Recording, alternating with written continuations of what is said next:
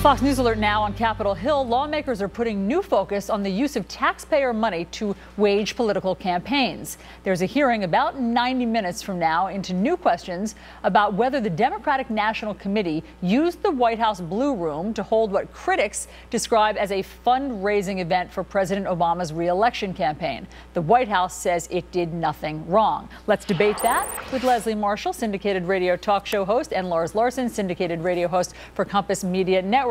Hello to both of you. Morning. Hi, good morning. Uh, okay, so Lars, I want to start with you. The White House says that these 20 Wall Street executives who were invited into the White House were there for a policy discussion with President Obama on the economy. What's the problem with that?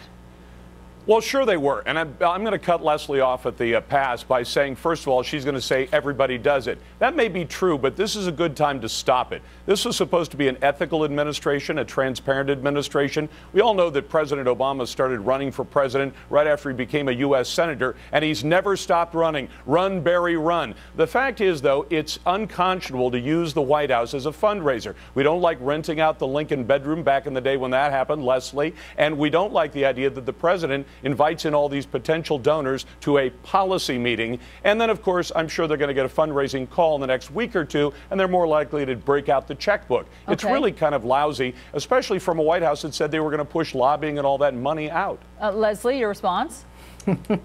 I wasn't going to say that, Lars, but thanks for trying to read my mind.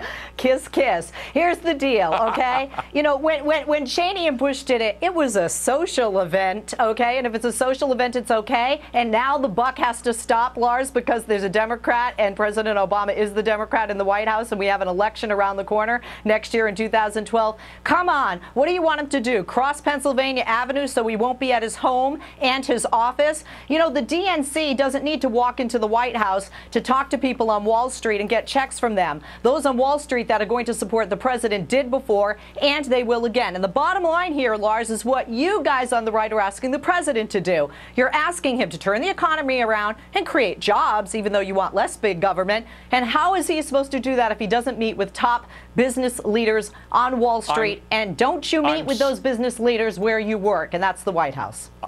I'm so glad that you asked, Leslie. And uh, listen, here's what I'd like to suggest. Let's make sure all presidents stop doing this. And here's an idea. If you only invite your political buddies and those who are political, you know, I guess uh, fellow travelers, if you don't mind the phrase, uh, to come to the White House, you're not going to hear a lot of critical ideas. Critical ideas like cutting back regulations, like lowering taxes, like making it a better business environment, and reining in the EPA. In fact, for my, for my money, shut down the EPA and turn it into something that actually helps helps business. Okay. You're not going to hear those ideas you know, from Republicans who are invited. Lars, you're making a good point. Leslie, I want you to get to respond to that. No Republicans were invited. I mean, these were donors previously to what the Obama campaign. So if it were really a policy discussion, then perhaps all sides of the aisle should have been invited. And do you have a problem with the DNC organizing this and the DNC extending the invitations to people?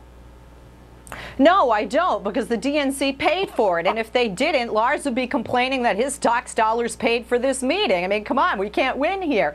The, again, well, when we look at this group of people, Lars, hey, by the way, is John Boehner one of the buddies? He's been invited to the White House. I understand in this meeting there weren't Republicans, but Republicans have been invited to the White House in the past. This is being harped on because you guys have nothing else on the president. You got, well, you got nothing, Alisyn, Lars. Is this the best you can do? Alisyn, is yes, it a DNC event or a White House event? Is it a policy event or a political event or fundraising event? We got to get this clear. And it's not very clear when the DNC is involved. And I'll tell you what, I'll make you the promise, Leslie, when there's a Republican president in in January of 2013, I'll hold him to the same standard. How's that? and, and, you know, we should let everybody know that 90 minutes from now, Congressman Darrell Issa is holding a hearing on this very thing because he thinks that they have blurred the line so much so at the White House or the DNC that it actually could violate the um, Hatch Act.